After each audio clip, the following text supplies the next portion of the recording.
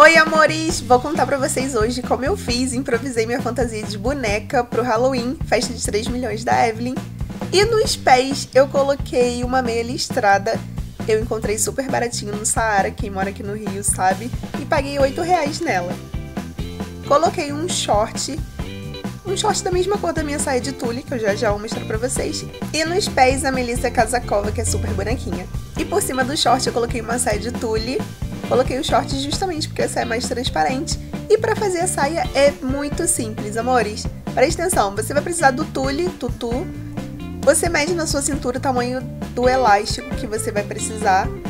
Amarra ele em algum lugar só para você ter uma base e você vai passando como se fosse uma alcinha, sabe?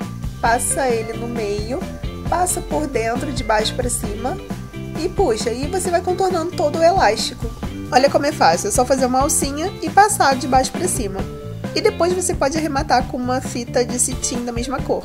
Na parte de cima eu usei esse corpete que eu já tinha em casa, mas você pode usar qualquer blusa que você tiver por aí. Eu usei esse que deu um ar mais bonequinha e dei um lacinho e coloquei a saia por cima dele para parecer mais um vestidinho, sabe?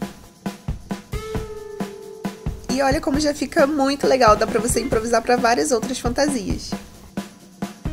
Para fazer a chavinha de trás, eu usei um rolinho de papel higiênico, papel toalha que você tiver em casa e papelão. Fui fazendo as marcas, com uma caneca eu contornei o círculo e fui unindo um ao outro. Daí é só recortar e medir por dentro o círculo menor. Também recorta. E a gente vai utilizar um papel dourado para fazer a parte de, da frente e da de trás ou vocês podem pintar também com tinta dourada também, fica super legal. Eu colei com cola instantânea, colei na frente e atrás para fazer um acabamento bonitinho. E enrolei também o rolinho de papel higiênico. Passei cola de silicone e depois cola quente para fixar bastante. Fiz o acabamento colocando essas pontinhas para dentro com a ajuda da cola quente de uma tesoura. E encaixei uma parte para outra. Se você se sentir mais seguro, pode passar cola também. Para finalizar, eu amarrei um elástico, fiz um furinho de cada lado, dei um nozinho na ponta e ele ficou assim.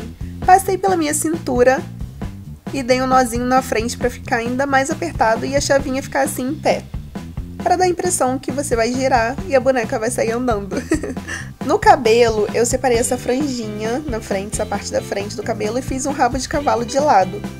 Uma Maria Chiquinha também fica super bem, aí é só soltar a imaginação. Eu coloquei um mega para ficar com um cabelão, já que meu cabelo tá curtinho, e coloquei um lacinho bem bonequinha. Está pronto, amores! Olha que legal, me conta o que vocês acharam. Quero os comentários aqui embaixo. E a make eu não vou mostrar pra vocês porque foi uma amiga que fez, mas vou deixar várias fotos e um pouquinho da festa pra vocês se inspirarem. E segue lá no Instagram que tem várias fotinhos. Chegando aqui na festa da Evelyn. Oiê!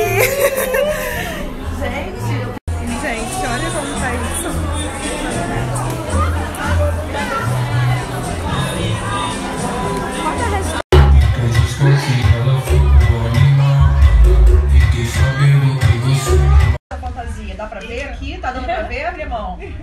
Alemão.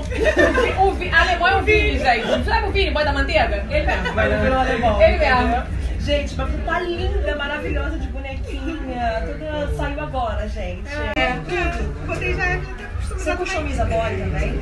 Aí eu não quero não. Quando, quando o boy não serve mais, assim, o boy já tá todo destruído, todo cagado, não dá mais pra colocar. Aí não dá, não dá. Aí não dá, né, amiga? Tem que trocar, não dá pra customizar, transformar numa bolsa. Não dá. Não.